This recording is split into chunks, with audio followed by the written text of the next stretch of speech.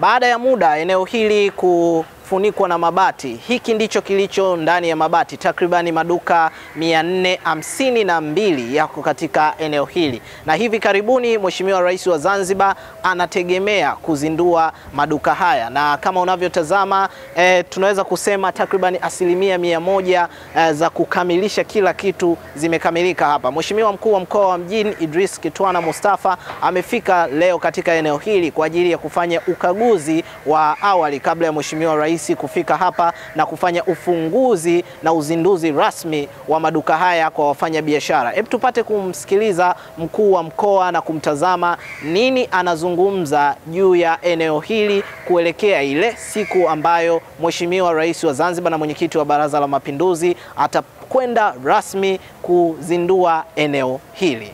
Tuwashukuru sana wafanyabiashara, nitakuwa mwizi wa fadhila kama sikuwashukuru wafanyabiashara wadogo wadogo ambao kwa hiari yao bila kutumia nguvu, tulipowapa njia na faida tu, tukawaambia jamani, tunawaomba mpishe ujenzi, mkisha tutakurejesheni.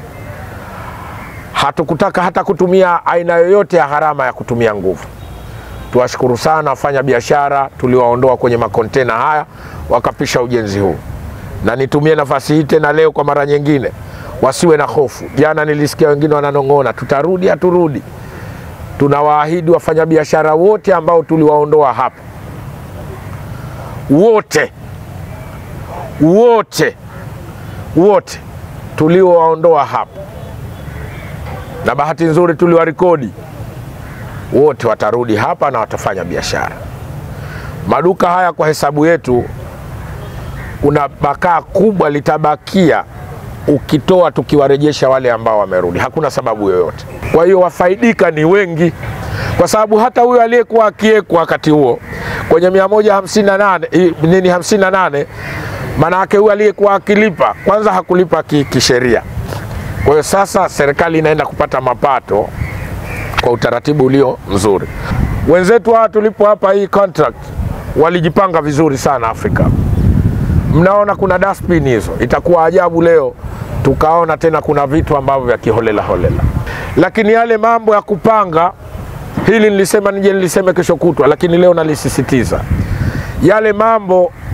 Hata wafanyabiashara walikuwa wanalalamika sana. Mheshimiwa Rasi tuliarithi kwa muda mrefu, yakawa kama hawezi kuondoka.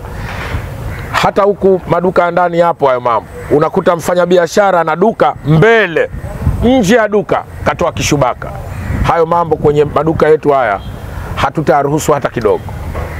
Na hii maana yake nini? Maana yake sasa wahusika wa, wa inabidi waje washughulike vizuri kuhakikisha maduka, mfanyabiashara na, nani, m, nani mwananchi wa kawaida anapokwenda dukani aone mazingira yako rafiki na yeye kuuliza dukani.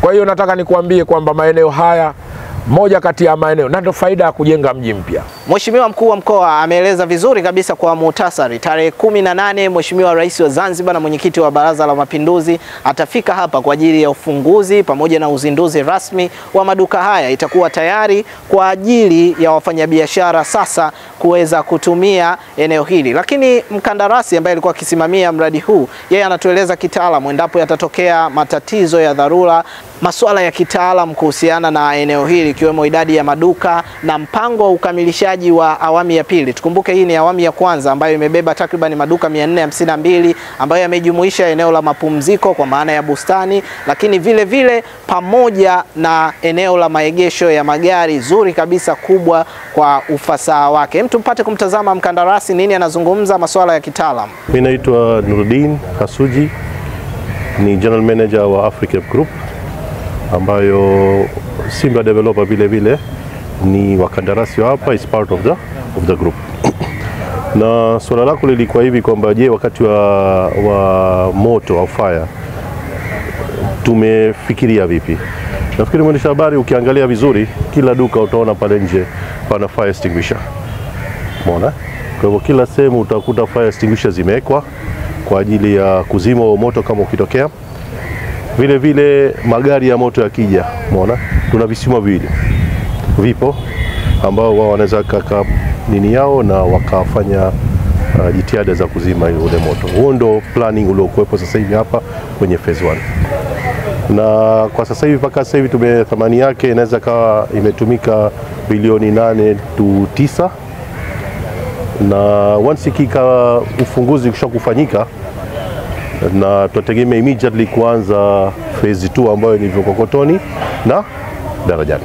Hakika uh, hivi ndivyo inavyoonekana katika soko hili la Zedarajani soko hapa Darajani. Takribani maduka haya uh, yanayotegemea kufunguliwa rasmi na Mheshimiwa Rais wa Zanzibar na mwenyekiti wa Baraza la Mapinduzi. Na nzuri katika kona za mitaa hii ya sokoni hapa eh, kuna aina ya mitaa imeelekezwa kwa kutumia eh, visiwa. Mfano nyuma yangu unaweza kutazama Tumbatu. Kwa hiyo hii ni awamu ya kwanza kwa hapa Darajani, na hizi ni juhudi kubwa za Serikali ya Mapinduzi ya Zanzibar ambazo zimefanywa kwa kipindi hiki cha Rais Daktari Hussein Ali Mwinyi. Mimi ni Johnson Daba na hii ni Sajuki Online TV.